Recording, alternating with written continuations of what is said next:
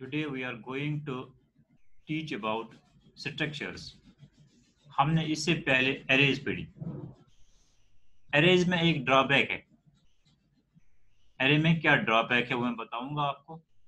Array में आप सिर्फ़ same type of data element store कर सकते हैं।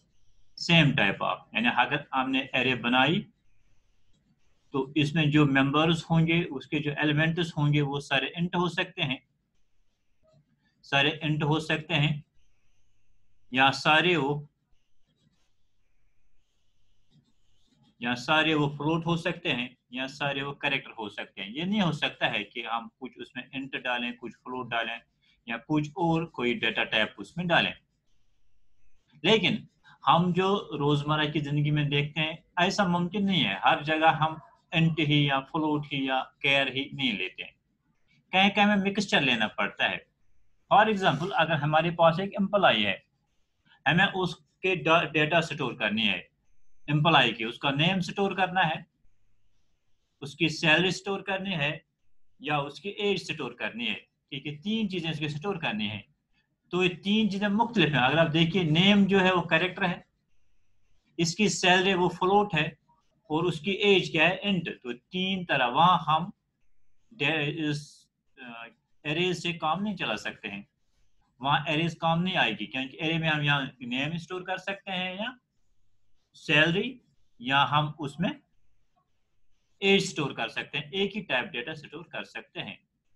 तो ओवरकम दैट ड्रॉबैक उस ड्रॉबैक को खत्म करने के लिए हमारे पास एक नई चीज़ है दैट इज़ स्ट्रक्चर्स स्ट्रक्चर्स में हम स्ट्रक्चर्स में हम different types of data types को स्टोर कर सकते हैं। मैं पहले बता, एक और तरीका हमारे पास है।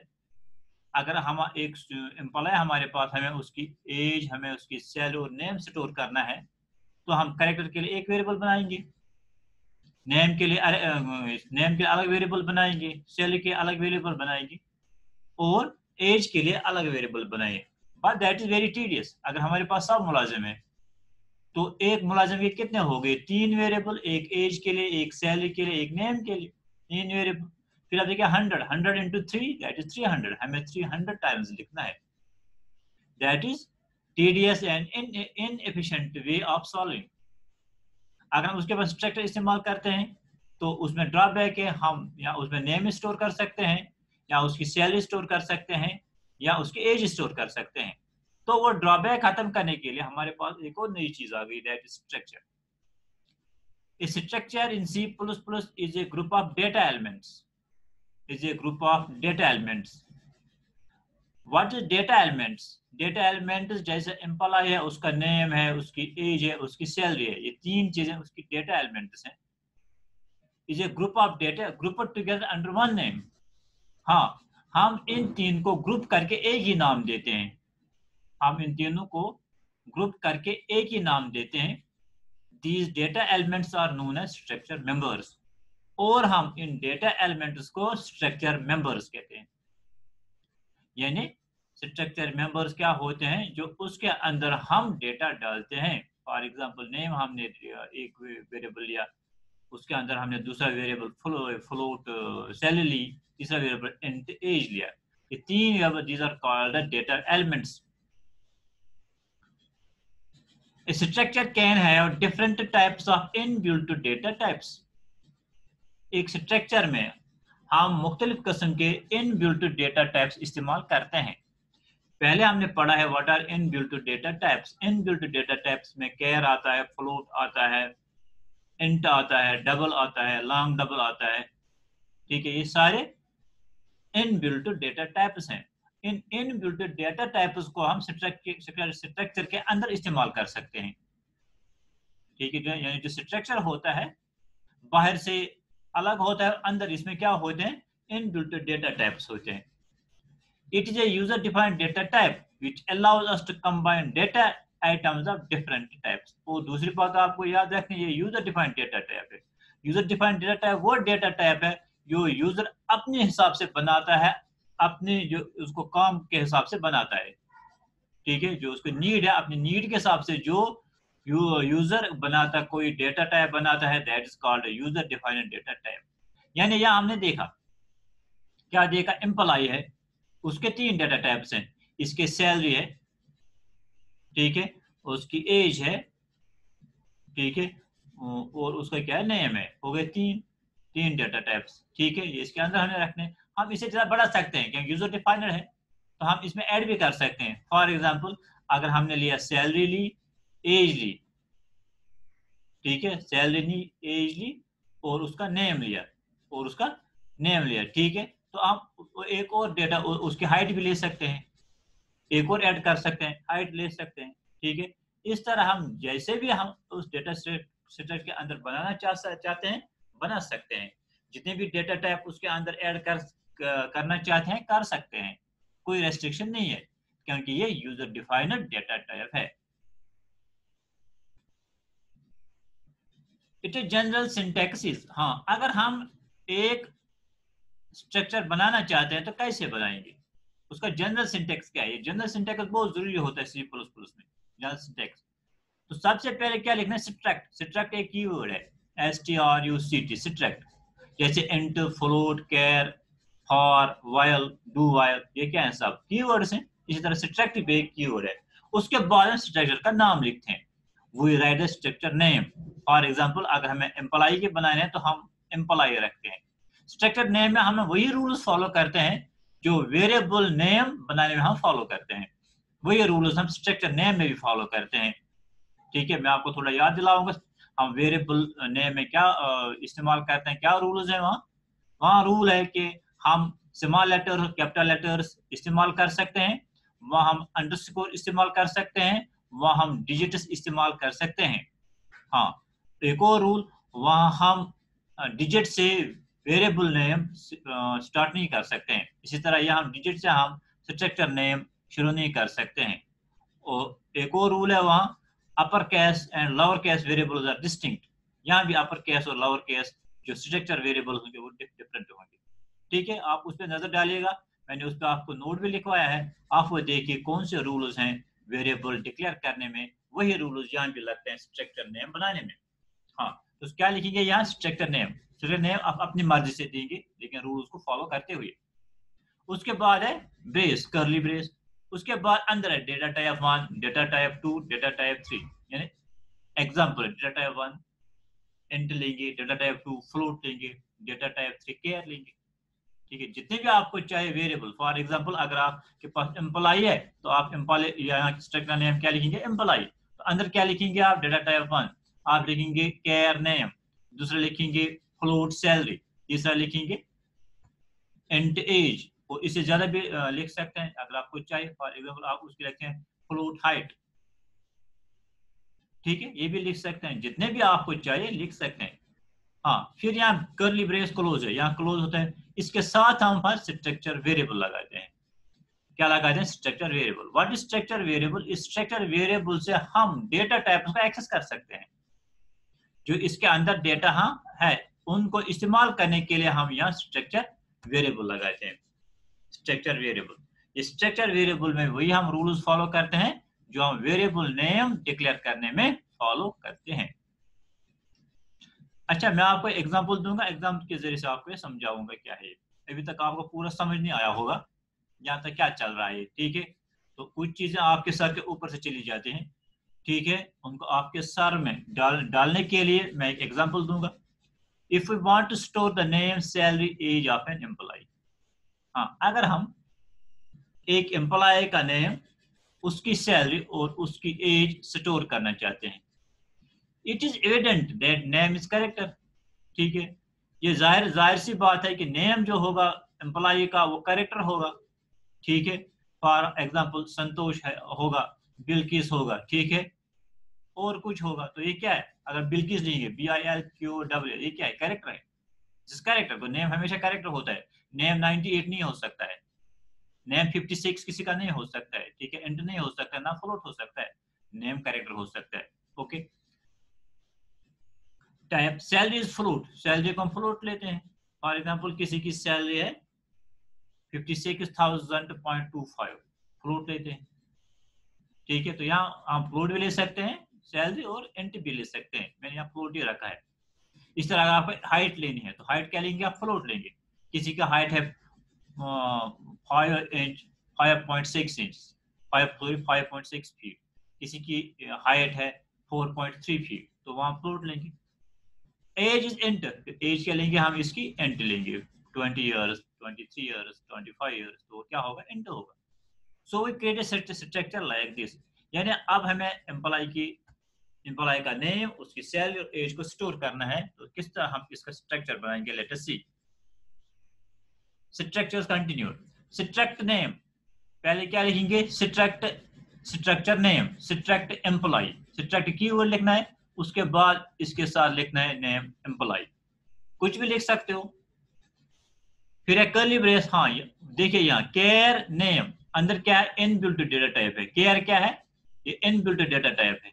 तो उसके साथ हम केयर नेम लिखेंगे। यानी नेम बना, बन गया एक करेक्टर वेरिएबल ये नेम एक करेक्टर वेरिएबल बन गया, मगर किसका, किस स्ट्रक्चर का? एम्प्लॉय स्ट्रक्चर का।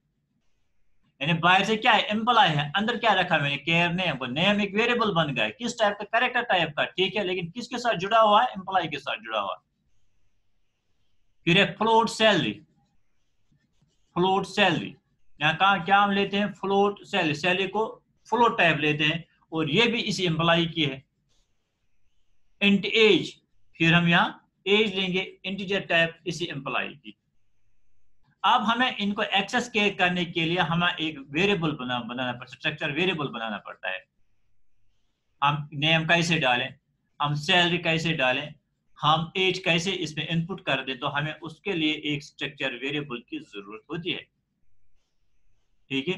तो स्ट्रक्चर वेरिएबल हम, जब स्ट्रक्चर यहाँ क्लोज होगा, उसके बाद मैंने एम्प लिखा बना, बन गया structure variable.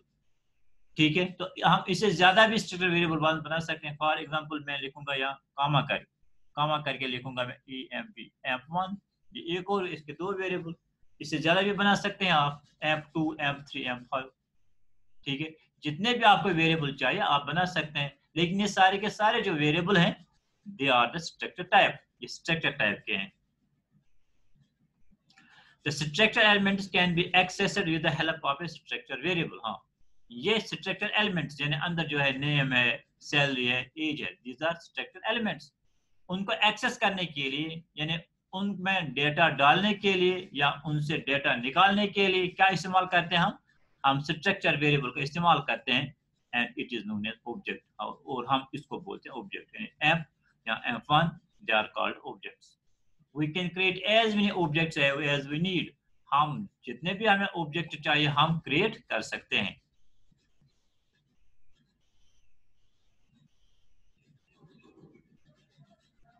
Structure objects can be defined as structure object हम ऐसे डिफाइन करते हैं। स्ट्रक्ट एम्प्लॉय स्ट्रक्ट यानी पहले नाम लिखा स्ट्रक्ट फिर लिखा employ struct employ struct keyword है, यानी ये स्ट्रक्चर हम बना रहे हैं। एम्प्लॉय इसका नाम है स्ट्रक्चर का। फिर कर्ली ब्रेस फिर कर्ली ब्रेस फिर केयर नेम ठीक? फिर फ्लोट सैलरी फिर इंटीज मैंने इसमें तीन करेक्टर टाइप इसमें मैंने तीन वेरिएबल बनाए, ठीक है? एक करेक्टर टाइप दूसरा फ्लोट टाइप तीसरा इंटीजर टाइप और एप मैंने इसमें बनाया एक स्ट्रक्चर वेरिएबल एप एक स्ट्रक्चर वेरिएबल है, इस एप की मदद से हम स्ट्रक्चर के एलिमेंट्स को एक्सेस कर सकते हैं।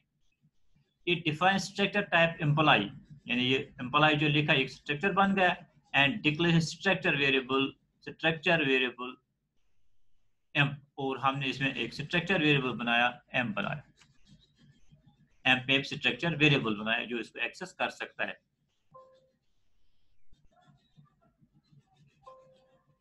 ठीक है, हम इसको रिपीट करेंगे थोड़ा।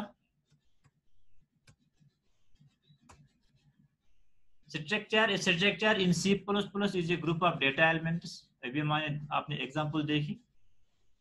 स्ट्रक्चर क्या है? ग्रुप ऑफ़ डेटा एलिमेंट्स हम उसमें डेटा एलिमेंट डालते हैं। जैसे हमने डाला char name float salary and age ये क्या हो गए? Data elements group together under one name ये तीनों एक ही नाम के अंदर है, यानी ऊपर हमने लिखा एम्प्लॉय सब्ट्रैक्ट एम्प्लॉय यानी ये सारी चीज़ें, यानी नेम सैलरी और एज ये इसी एम्प्लॉय के हैं एम्प्लॉय डेटा टाइप का। ये data elements are known structure members उनको हम बोलते हैं स्ट्रक्चर मेंबर्स डेटा एलिमेंट्स को हम स्ट्रक्चर मेंबर्स बोलते हैं। Structure can have different types of inbuilt data types इसमें हम डिफरेंट टाइप्स के इनबिल्ट डेटा टाइप डाल सकते हैं। जो आपने भी देखा केयर नेम हमने लिखा फ्लूट हमने लिखा फ्लूट सैलरी हमने लिखा, फिर इंट एज ठीक है। मुख्तल एक केयर आया, दूसरा फ्लूट आया, तीसरा एंड आया। ठीक है? तो हम मुख्तलिफ़ किस्म के इन डेटा टाइप स्ट्रक्चर के अंदर लिख सकते हैं। It is a user defined data type which allows us to combine data items of different तो ये क्या है? ये यूज़र डिफाइंड डेटा टाइप है जो हमें कंबाइन करता है data element data item different types different types of data type उसको कंबाइन करने के लिए हम स्ट्रक्चर इस्तेमाल करते हैं। हाँ अब इसका जनरल सिंटेक्स है। पहले हम स्ट्रक्चर कीवर्ड लिखते हैं, फिर स्ट्रक्चर का नेम लिखते हैं, फिर इसके अंदर डेटा टाइप लिखते हैं। जितने भी चाहे डेटा टाइप्स हम लिख सकते हैं इंटिक character float double long double जो भी होगा आप इसमें लिख सकते हैं। फॉर एग्ज़ाम्पल अगर आपके पास और कुछ स्टूडेंट है, आप क्या लिखेंगे? स्ट्रक्चर स्ट्रक्ट स्टूडेंट ठीक है? स्टूडेंट की उसकी, उसका नेम ठीक है? उसकी डेट ऑफ़ बर्थ है ना? उसकी डेट ऑफ़ बर्थ मार्क्स ठीक है residence father's name mother's name आप बना सकते हैं, यहाँ। तो लास्ट में इसको क्लोज करते हैं कर्ली ब्रेस कर्ली ब्रेस के साथ हम फिर स्ट्रक्चर वेरिएबल बनाते हैं। स्ट्रक्चर वेरिएबल यानी एक, या दो, या तीन, या चार, जितने भी चाहिए, इतने स्ट्रक्चर वेरिएबल बना सकते हैं। If we want to store the name salary age of an employee? It, even that name is character तो नेम क्या होगा? यहाँ करेक्टर होगा। Salary is float and age int तीन तरह की डेटा टाइप्स हैं आप इसमें। So we can create structure like this तो हम ऐसे बनाते हैं। स्ट्रक्ट एम्प्लॉय केयर नेम लिखेंगे फ्लोट सेल लिखेंगे इंट एज लिखेंगे, फिर यहाँ लिखेंगे एम्प कामा एफ़ वन इसे ज़्यादा लिखेंगे। जो एम्प और एफ़ वन है, ये क्या है? ये इसके ऑब्जेक्ट्स हैं। या इसको बोलते हैं डेटा इसको बोलते हैं स्ट्रक्चर मेंबर्स यानी पहले हम लिखा स्ट्रक्ट एम्प्लॉय यानी हमने एक एम्प्लॉय टाइप का स्ट्रक्चर बनाया। उसके अंदर हमने तीन वेरिएबल डाले एक कैर टाइप का, दूसरा फ्लोर टाइप का, तीसरा इंटीजर टाइप का, यानी उसका नेम एज और नेम सेल एंड एज फिर हमने बनाए एम्प एम्प वन इसके variables the structure element can be accessed with the help of structure variables, and it is known as object. We can create as many objects as we need हमें जितने भी objects चाहिए, यानी structure variable चाहिए, हम उनको हम उनको इस्तेमाल कर सकते हैं यहाँ डिफाइन कर सकते हैं Structure order can be defined as structure imply care name, float salary, and age. M. It defines structure types imply इसका मतलब है हमने एक स्ट्रक्चर बनाया उसका नाम इम्प्लाई रखा एंड डिक्लेयर से स्ट्रक्चर वेरिएबल एम और हमने एक स्ट्रक्चर वेरिएबल बनाया उसका नाम एम्प रखा यानी ऊपर क्या हो गया ये बन गया स्ट्रक्चर नीचे जो एम्प है, ये क्या? ये हो गया structure variable it is sufficient for today thank you.